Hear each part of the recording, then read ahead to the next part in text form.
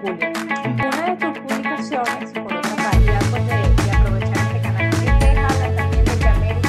Hola, bienvenidos a Espacio Gente para el diario de Panamá. Les saluda como Hola, bienvenidos a Espacio Gente para el diario La Estrella de Panamá. Les saluda como de costumbre Yandira Núñez. El día de hoy conversaremos sobre tecnología e innovación.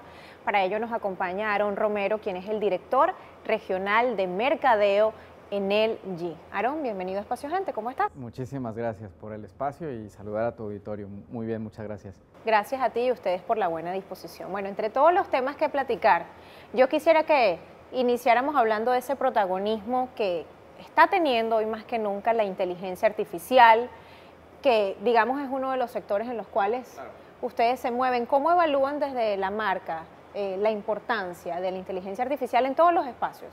Yo creo que Sí, esto no es algo propio de, de, la marca en donde estamos, de LG, abiertamente.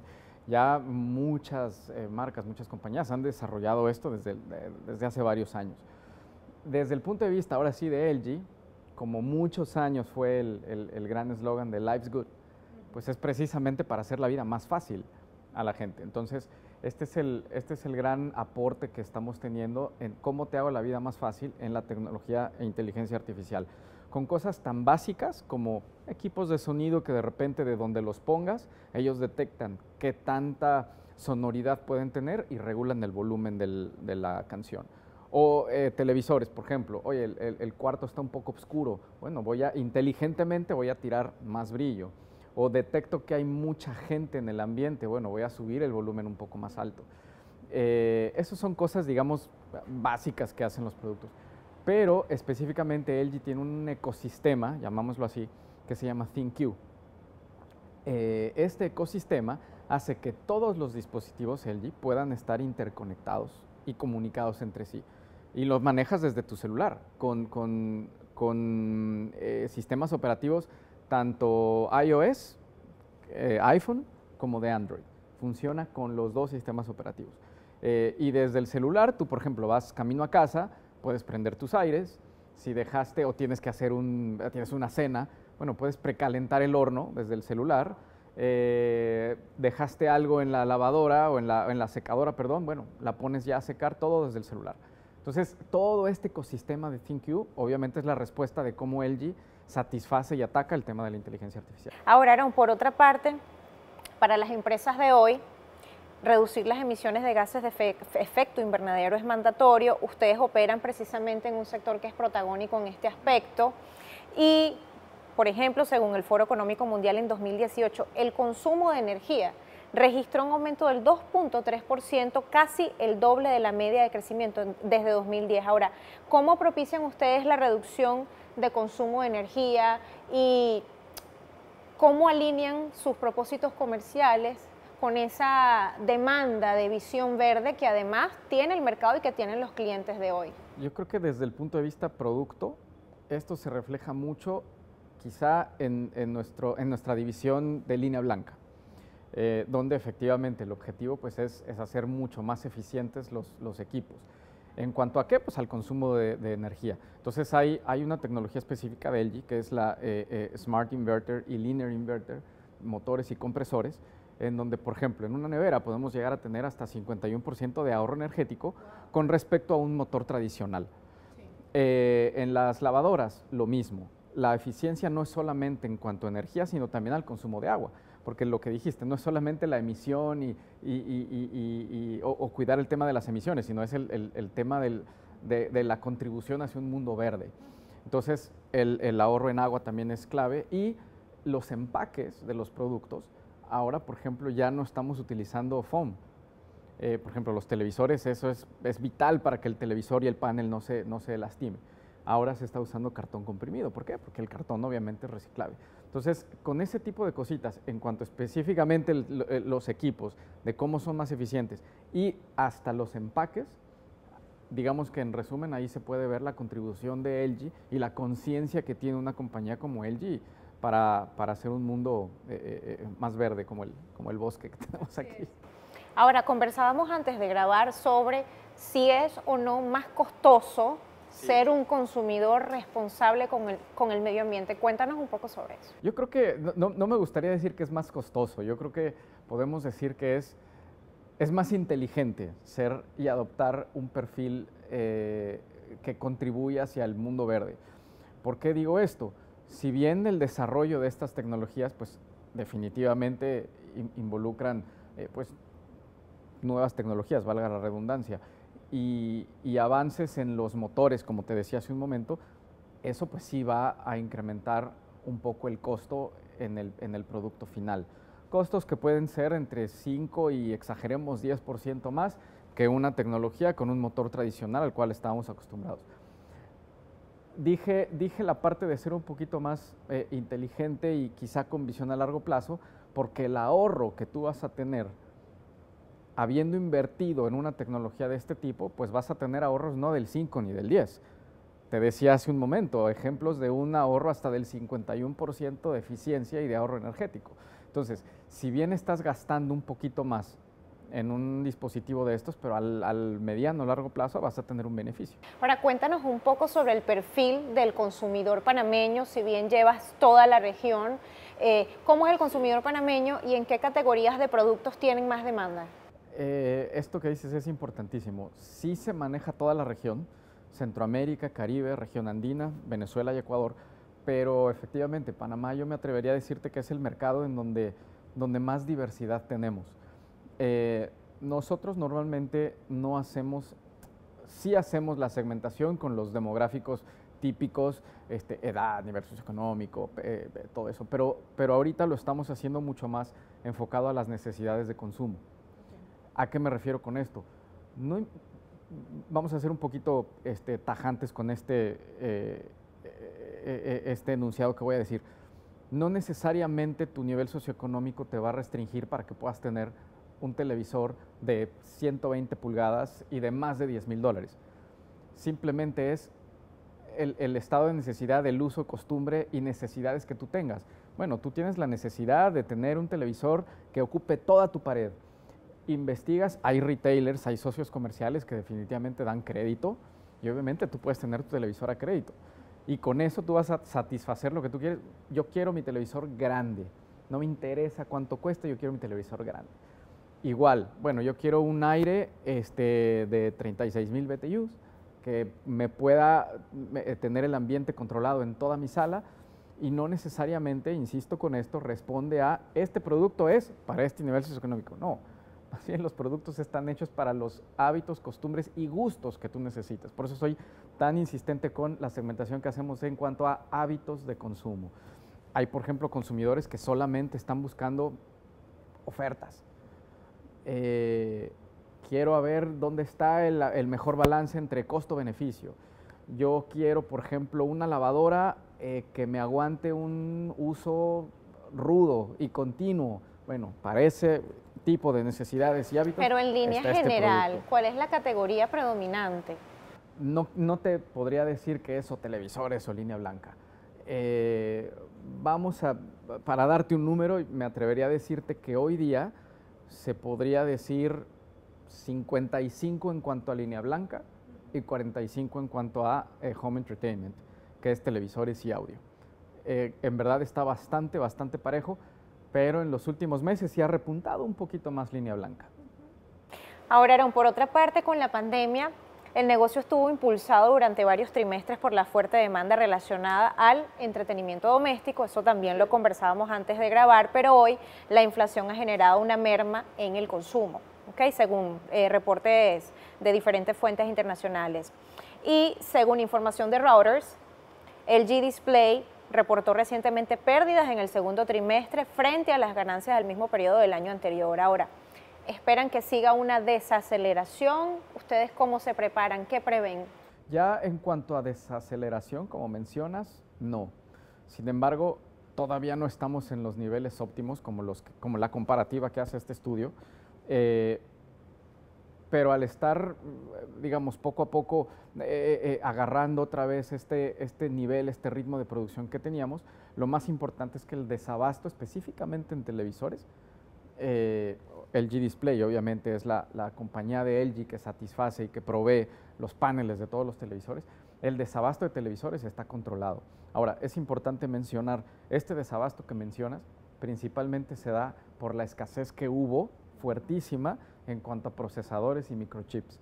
Y no solamente se vio en Consumer Electronics, también se vio en autos, por ejemplo. La industria de autos se vio sumamente afectada. Tan es así que marcas americanas tuvieron, un, eh, eh, tuvieron que parar por, por, periodos de tiempo el abasto de, esto. Entonces, si bien nos pega a nosotros, pudimos resolver, insisto, no estamos todavía a los niveles del 2020, 2019, antes de pandemia, pero poco a poco estamos ya resolviendo este, eh, este reto. Ahora, ¿cómo se transformó la tendencia de compra durante la pandemia? ¿Qué vieron en esos dos años? Fue muy interesante. Obviamente la gente al estar más tiempo en casa, pues tenía más uso de sus electrónicos de consumo, de línea blanca y de televisores. La línea blanca obviamente tuvieron un uso mucho más fuerte. La gente pasaba todo el tiempo en casa, tenías que lavar más ropa, tenías que lavar más trastes, tenías que cocinar más y el televisor y audio pues se volvieron realmente los entretenedores del, del, del hogar. Entonces, con base en eso, nosotros, además de seguir comunicando los beneficios funcionales, le dimos un peso muy importante a los beneficios emocionales que pueden tener estos, estos productos. Tan es así, por ejemplo, línea blanca. Oye, claro, tienes que cocinar más, pero con la inteligencia artificial que tienen estos productos, tú no necesariamente tienes que estar en la cocina. Echa a andar tu horno desde el escritorio donde estés teniendo la videollamada, etcétera, y empiezas a hacerlo. Entonces, ¿qué te estoy ahorrando ahí? Tiempo, comodidad, conveniencia.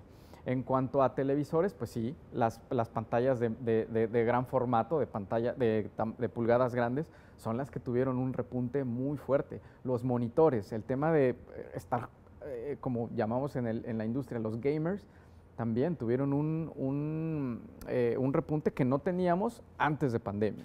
Entonces, estas cosas, gracias a la, eh, eh, gracias a la pandemia, que si bien tuvo que traer algo bueno, nos hizo replantear bien, no replantear bien, replantear mejor la estrategia que estábamos teniendo en cuanto a cómo llegarle a toda esta gente, con la segmentación que te digo hace un momento. generamos muchísimos insights de eso, cambiamos parte de la comunicación, no solo a lo funcional, sino a lo emocional también, y eh, yo creo que una de las grandes conclusiones, estamos claros que el e-commerce llegó para quedarse. Eso quería preguntártelo, si ustedes ya tenían habilitada plataforma de e-commerce y cómo les fue con, con, la parte operativa y sí me llama mucho la atención que me cuentes. Nosotros en esos dos años la gente... Tuvimos nuestro LG Store, eh, nuestra tienda e-commerce, a principios del año pasado. Eh, a principios, en el primer Q del, del 2021.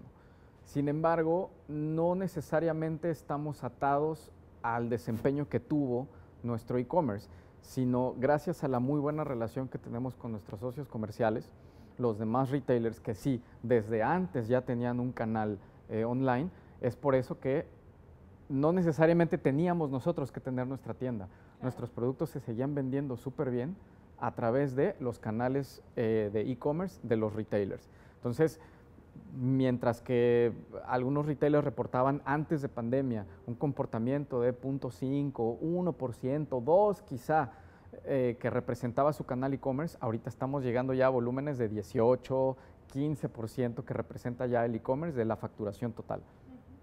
O sea que podríamos decir que durante la pandemia el panameño se abocó 100%. En parte a comprar 100%. este tipo Yo creo de que artículos. Fue una aceleración en este, en este comportamiento de compra que cayó perfecta.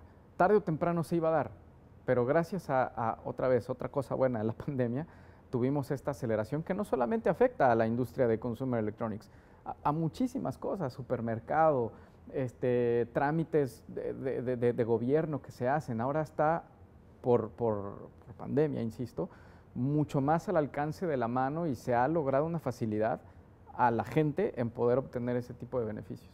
Así que te digo, llegó el e-commerce y todo el tema eh, eh, digital de trámites para quedarse y seguir creciendo. Ahora, el conflicto ruso-Ucrania ha tenido un impacto en el costo de las materias primas, también lo conversábamos ustedes. Sí. ¿Cómo lo están manejando para que esto no afecte al consumidor final?